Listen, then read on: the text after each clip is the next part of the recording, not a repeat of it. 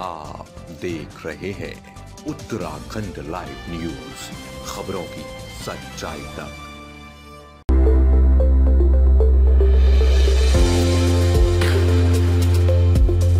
नमस्कार, आप देख रहे हैं उत्तराखंड का number one digital channel Uttarakhand live news मैं हूँ आपके साथ अंजलि। चलिए रुक करते हैं खबरों की ओर।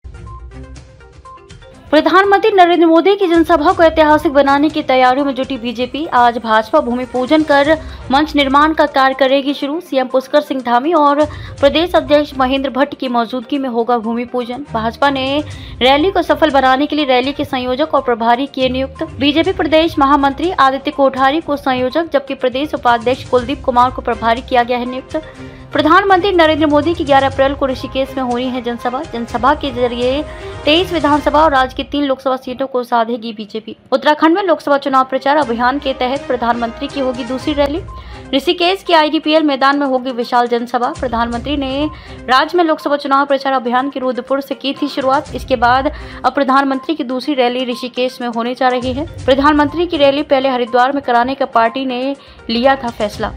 पाँचों सीटों पर कहीं कोई मुकाबला नहीं है। लोगों में जोश है और इस बार का चुनाव लोग स्वयं अपने हाथ में ले लिया लोगों ने।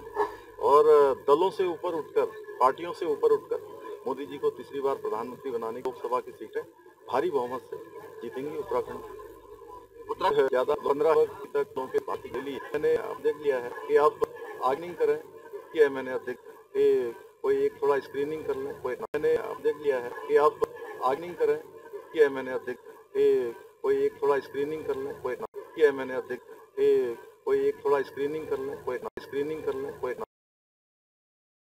छोटी से बड़ी खबर जानने के लिए हमारे साथ बने रहिए उत्तराखंड लाइव न्यूज़ पर। अब चाहोगे इजाज़त, नमस्कार।